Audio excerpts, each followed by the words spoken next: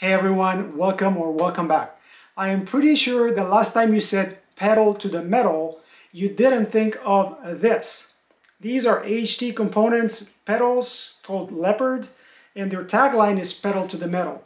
These are used by Nino and quite a few other members of the Swiss XCO team, so let's take a closer look at them and see if they're worthwhile. Shimano SPDs have been in the market for quite a while and you know what, they're bulletproof. You see my XTRs used for at least a couple of seasons. I absolutely love these pedals. So what does the HT Components Leopard M1 bring to the table?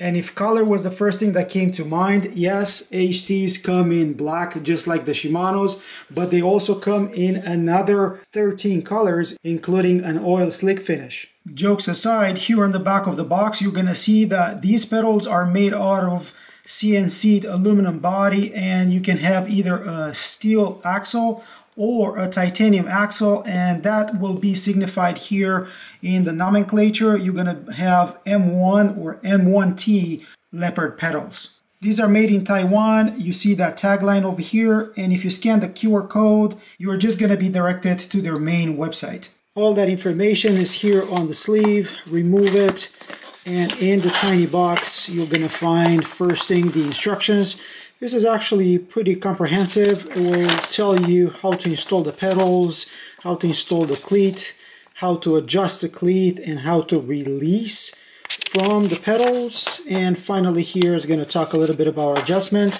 One note here, Shimano provides us with SH51 that's in the box of every pedal and you also have this SH56 the multi-release cleats. What that means here, if you look in the Shimano manual, it just shows you that single release mode is very similar to what these HT components provide. So you have to twist your heel outwards as opposed to multi-release mode of the Shimano's, which allows you more opportunities to release your shoe. And I'm mentioning this because even though the HT pedals come with uh, different types of cleats, and by the way, they include adjustment plates and uh, different length screws and things like that, they all work in the same way like this. And that is pretty much the functionality of the single release Shimano cleats. Their cleat system actually includes four options. You can see them on your screen right now. This X1E being specific to more cross-country type of riding it provides 4 degrees of float. They do have others with 8 degrees of float. And again, float is how much wiggle room your shoe is going to have on the pedal before you actually disconnect.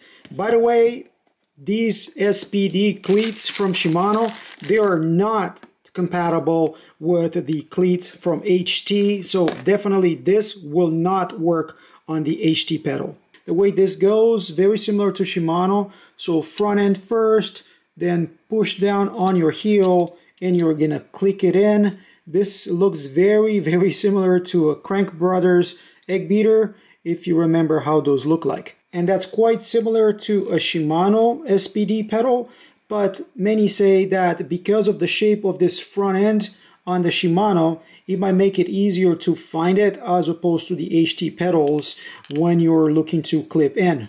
Very similar to Shimano, you have a cleat adjustment here. Use a 3 millimeter Allen and you can see this little indicator plus or minus.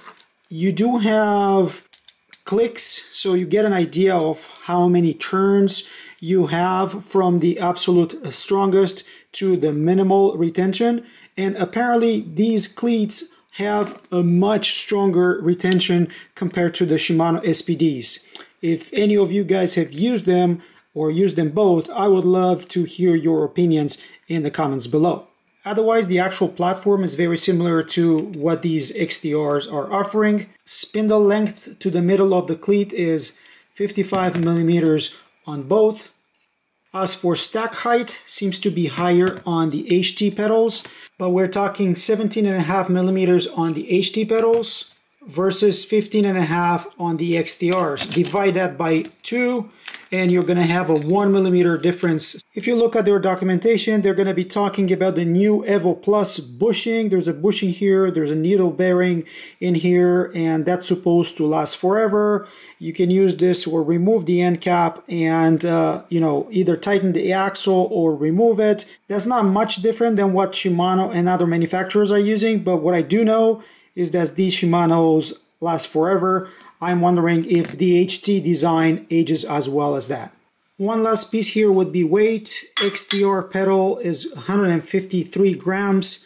These HT with steel axle are 147. So we're talking about less than 10 grams difference between the HT M1s at 294 and the XTRs at 306 grams. However, the HT cleats are 58 or 59 grams and the Shimano saves a few grams over there. So the weight difference between these two pedals is pretty much non-existent. However, remember that if you pay an extra 100 bucks, you can get these ones with the titanium axle and that will save you another 45 grams or so, so 252 grams for the set.